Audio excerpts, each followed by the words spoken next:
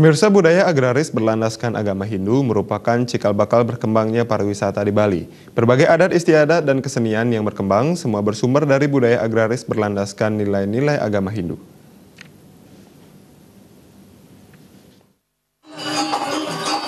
Budaya, adat, dan kesenian khas Bali tidak ditemukan di daerah lain di dunia.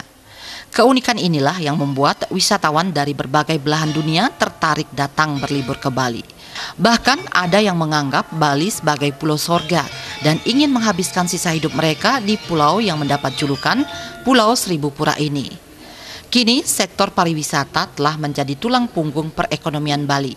Semua menyadari ini berkah keunikan seni budaya dan adat istiadat yang bersumber dari kehidupan agraris itu. Pemerintah pun telah menetapkan pariwisata yang dikembangkan di Bali adalah pariwisata budaya. Hanya saja pariwisata budaya ini mulai diragukan dengan munculnya berbagai atraksi wisata yang tidak mencerminkan adat dan budaya Bali. Semua tidak lepas dari meningkatnya jumlah wisatawan yang datang. Terlebih, pemerintah terus meningkatkan target kunjungan wisatawan yang datang ke Bali. Menampung dan mendukung membludaknya wisatawan yang datang sesuai target pemerintah, berkembang pesat pula berbagai akomodasi pariwisata di daerah ini. Tak bisa dihindarkan, lahan-lahan pertanian produktif pun dipaksa beralih fungsi untuk akomodasi pariwisata. Gemerincing dolar dari pariwisata telah pula membius generasi muda Bali berbondong-bondong meninggalkan sektor pertanian dan beralih ke sektor pariwisata. Budaya agraris pun jadi terputus tanpa regenerasi, apalagi lahan yang harus digarap telah menyusut pula.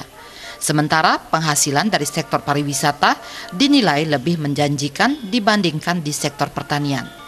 Lahan yang menyusut, regenerasi petani yang terputus di tengah gempuran atraksi wisata modern yang sama sekali tidak mencerminkan budaya Bali tanpa disadari namun pasti telah mengarahkan terjadinya pergeseran tema besar pariwisata yang diusung Bali.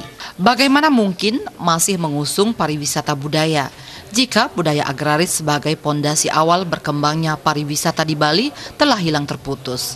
Budaya agraris seperti metekap, yakni membajak sawah menggunakan sapi, mabiu kukup atau upacara yang menandai mulai berbuahnya padi yang ditanam, serta berbagai atraksi seni budaya lainnya, kini sudah sangat susah ditemui seiring menyusutnya lahan pertanian. Berbagai atraksi budaya itu kini hanya ditemui dan telah dikemas menjadi atraksi wisata yang dikolaborasikan dengan berbagai budaya asing yang masuk lewat permintaan pariwisata.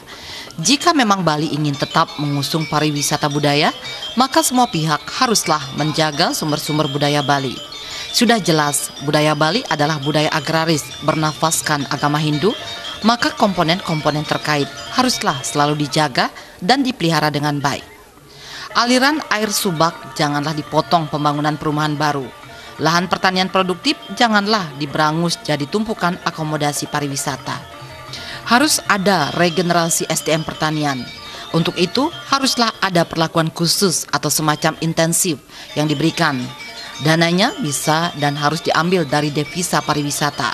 Pungutan kepada wisatawan untuk menjaga adat dan budaya Bali seperti dicetuskan Gubernur Bali Wayan Koster merupakan hal yang wajar. Dengan catatan, pungutan tersebut harus benar-benar dikembalikan dan diperuntukkan bagi pelestarian adat budaya dan alam Bali. Jangan seperti pungutan PHR atau pajak hotel dan restoran yang banyak bocor dan mengendap di mana-mana dan peruntukannya banyak yang tidak tepat sasaran. Jika sampai budaya Bali yang adiluhung dan unik ini hilang, maka kepariwisataan Bali tinggal menunggu waktu untuk dikubur.